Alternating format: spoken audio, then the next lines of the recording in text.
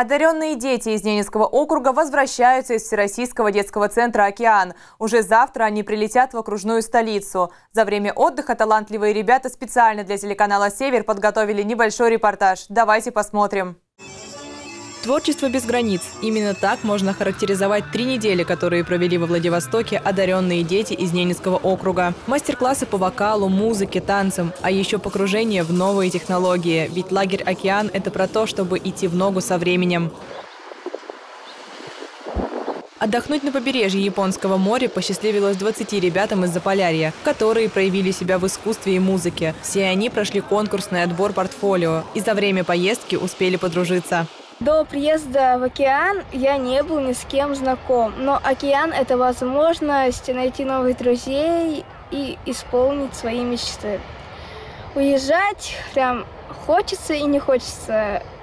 Самые запоминающие моменты – это у нас был, как под завершение смены, салют.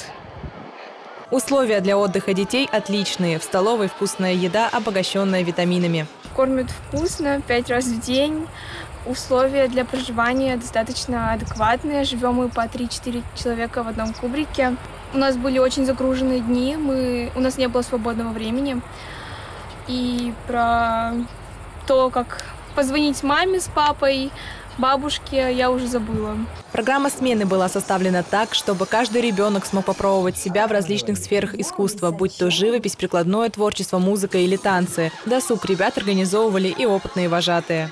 В океане у каждого ребенка есть возможность попробовать свои силы в чем-то новом, реализовать мечты, показать таланты.